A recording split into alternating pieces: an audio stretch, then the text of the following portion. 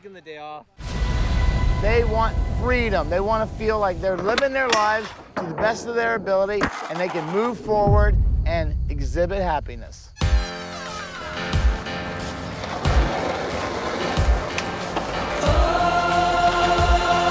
That determination and that stubbornness to try a trick that you see in your mind at a certain spot and try it over and over and over and then get beaten up and you're throwing your board, you're frustrated, you're screaming, you're yelling. And each time you go home with your tail between your legs, but then you just know